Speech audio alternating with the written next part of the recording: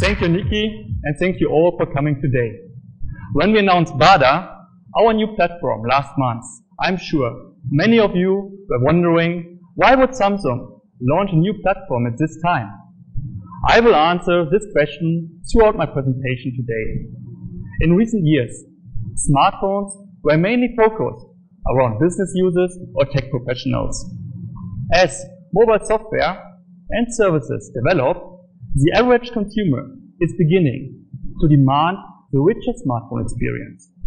We observed this evolving trend and took up a new challenge. Can we deliver this exclusive smartphone experience to all mobile devices and consumers? To meet this challenge, we realized that we needed to blur the traditional line between normal phone and smartphone users.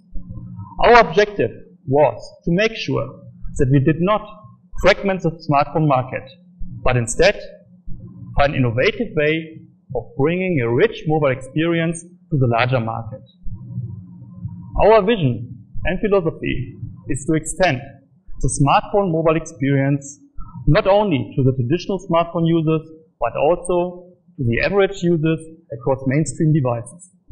Simply, our vision is smartphone for everyone.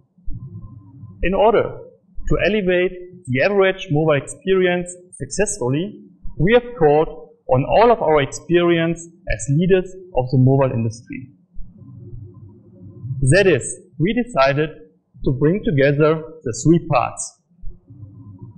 Our experience in innovative and stylish design, our intuitive touch user interface, and the technology behind our proprietary mobile platform. Our solution is a unique combination of long-standing success with Samsung Mobile and our strong experience in building successful smartphone devices. By combining these two, a new platform, BADA was created. BADA delivers a richer mobile experience to all consumers across a wider range of mobile devices. This is the vision behind the development and the introduction of our new mobile platform.